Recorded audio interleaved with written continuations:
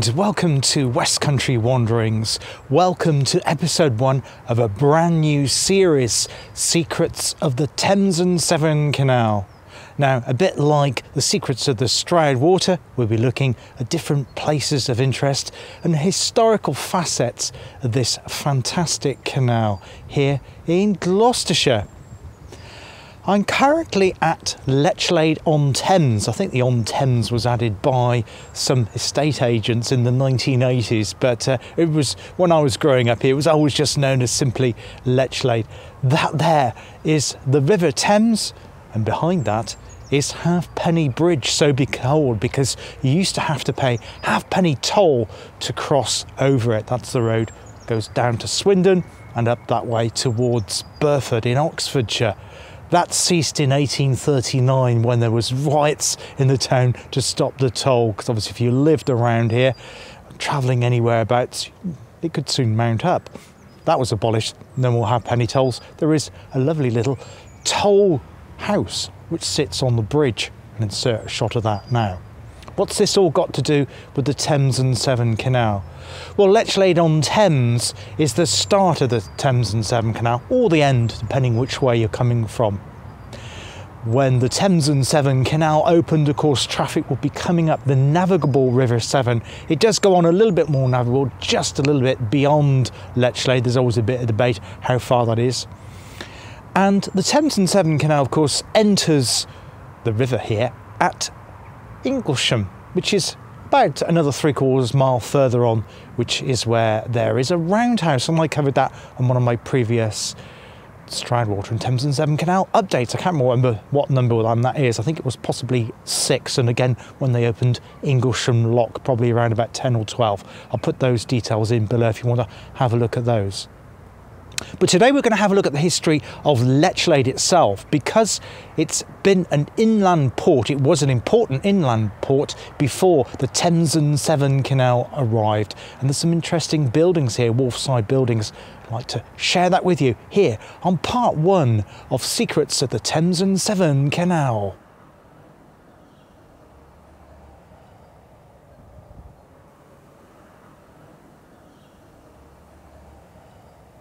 Now, today, Lechlade on Thames is known with its links to the leisure industry.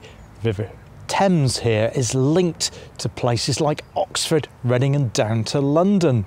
You won't see any commercial craft carrying freight these days.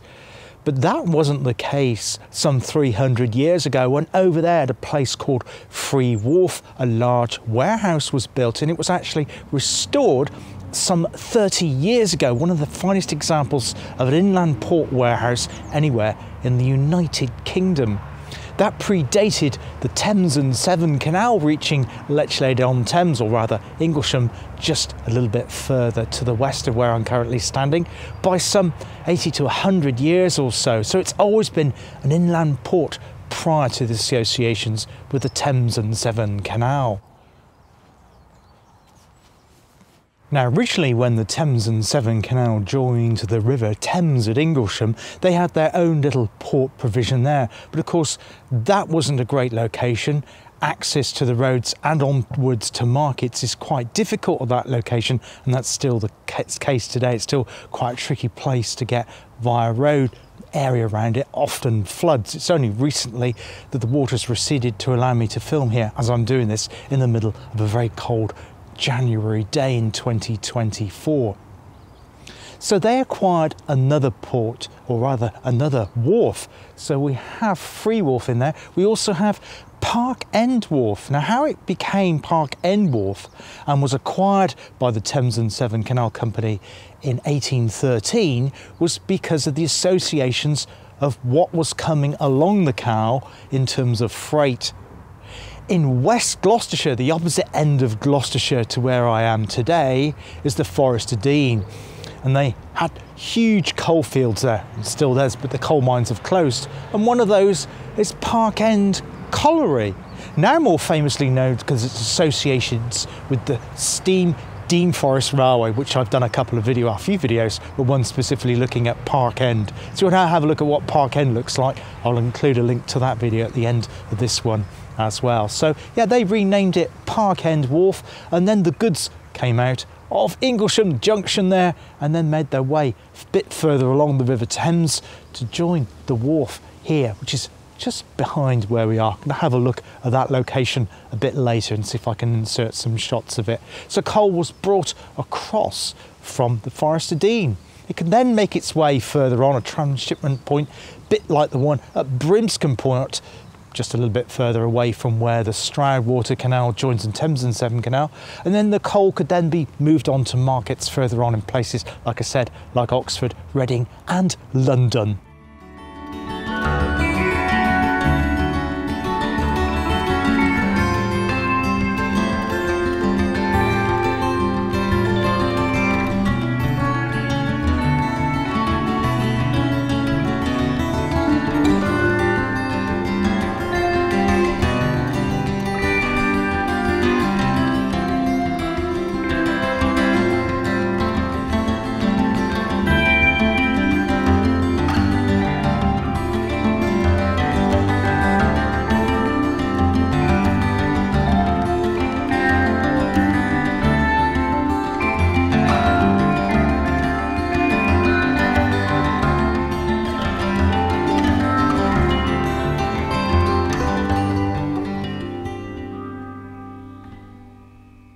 Now, the Thames and Severn Canal opened on Thursday, the 19th of November 1789. And the first transaction of freight actually didn't come from the Forest of Dean, but had come down from Staffordshire. It made its way down the Staffs and Wool Canal through Stourport on Severn and then down what we're familiar with here on West Country Wanderings, the River Severn, and then down through Gloucester and then made its way across along the Stroudwater Canal. One month later, after that, a huge celebration took place here in the town of Lechlade. Now, the huge celebration actually took place at the New Inn Hotel, which is still going, it's still a hotel here in the marketplace of Lechlade. I'll insert a photograph of it now. And it was at the expense of one Mr. Wells, who was the wharfinger here at Lechlade and he allowed people, all men, women, and children from the town, to celebrate, to eat and drink as much as they liked to celebrate the freight coming down from the West Midlands to this East Gloucestershire town. Now, some of that coal ended up in the Cotswold town of Cirencester. Now, if you remember my update, Cirencester had its own arm, which was dug out of the junction from the canal, should I say, main part of the Thames and Severn Canal. And that coal coming down from the West Midlands actually reduced the price hereabouts and it went from 30 shillings a tonne to 22 shillings a tonne. So there was huge celebrations all around with people paying a lot less for the coal needed to heat their homes and also provide power to the local mills. Now, one month after the celebrations took place here in Lechlade of the freight coming down, was some more stock in January of 1790.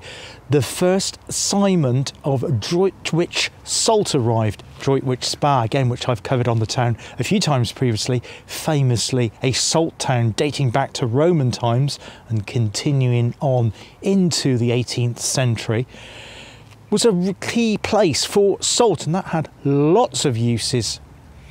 Not in those days, of course, before prior to refrigeration and people that couldn't afford those ice houses you see in large manor house estates, they had to salt the meat to extend the life of it. So salt was a really important resource, and that arrived here in Lechlade along the length of the Stroudwater and Thames and Severn Canal as I say, in 1790. That was an important trade because previously it had come down what is known as the Salt Way from Droitwich Spa. But by coming by road, it was quite an expensive process, and the canal, because it could bulk carry goods like salt, meant that it reduced the price of that too. But the traffic wasn't going on one way, it wasn't all coming down from the Midlands. Some of the traffic was heading out this part of Gloucestershire, heading north. And one such item was flagons of cider from Gloucester. And that made its way in both directions. The flagons went up into the further reaches of the West and East Midlands. It also came this way along the Thames and Severn Canal because then the people producing cider in and around Gloucester could tap into the London markets. One of the issues, though, of the canal, the Thames and Severn Canal reaching the Thames here, was, was its navigability. Now, obviously, it's open to the narrowboats that, that come along it, and as I say, it goes on a little bit further in terms of navigation. But it wasn't without its problems, and in 1792, the owners of the Thames and Severn Canal wrote to the Thames, River Thames commissioners because they were concerned about the river being open for navigation, getting the goods coming down and continuing on to London because parts of it weren't navigable. Didn't have locks in those days along the River Thames like we have today. And so they said to them, in order for our freight to continue, get goods going through and paying the dues going on, which they had to to get it down to market there in London, they needed some more infrastructure in place, particularly locks and accessible towpaths. Now, three years prior to that, the Thames and Severn Canal owners had previously contacted the River Thames Commissioners, and in doing so, the River Thames Commissioner employed the services of one William Jessop, who identified that they needed to build eight pound locks and 55 wooden bridges across little inlets to provide a continuous towpath so that anything towing the narrow boats, I'm thinking here of the horses specifically, could have access freely to the towpath to get it continuously moving along the River Thames. Unfortunately, those locks and towpaths weren't built straight away. So it wasn't until three years later that they advertised a continuous trade from the Midlands to London and vice versa because the Thames and Severn Canal owners were concerned that how freely that freight would be able to move along good old Father Thames here.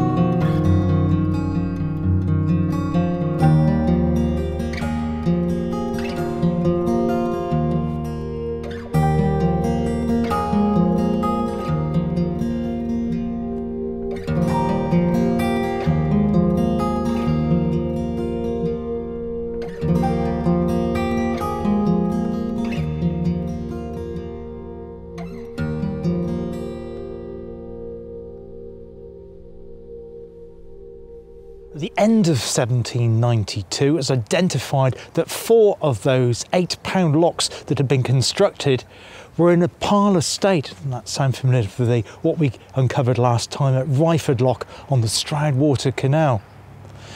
And the navigation on the Thames always remained troublesome to the owners of the Thames and Severn Canal.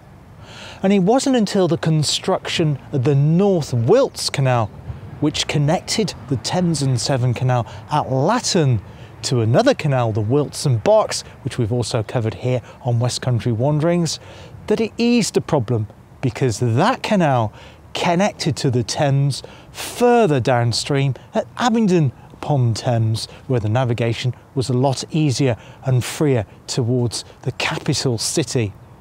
We'll actually be exploring the North Wilts Canal in both one of my secrets of the TNS and also one of my Wilts and Berks Canal series. That'll be coming up in the next few weeks.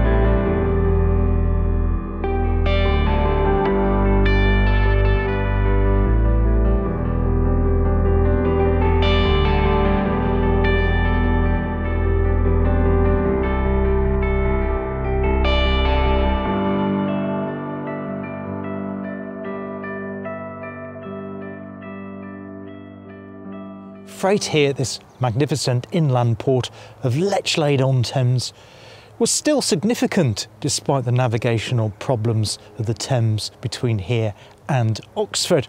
Some stock still got through, although there were often delays, as I said, because of the problems of the pound locks and the river being blocked off for dredging and associated works. Today, of course, now that the Thames and Severn closed many, many years ago in the 1930s, this has gone being back to a sleepy Cotswold town here in Gloucestershire, but still a favourite town for people coming to explore the Cotswolds. And if people own the boat in the southeast, they'll often pop along here in the summer up the Thames to explore the delights of this part of the Cotswolds. I hope you enjoyed this first episode of the Secrets of the Thames and Severn Canal here on West Country Wanderings. There'll be another one in this series and also another one in the Secrets of the Stroudwater series in the not too distant future. So if you like that sort of thing, please consider hitting the subscribe and the notification bell to alert you to when that happens. Until then, all the best. Bye bye.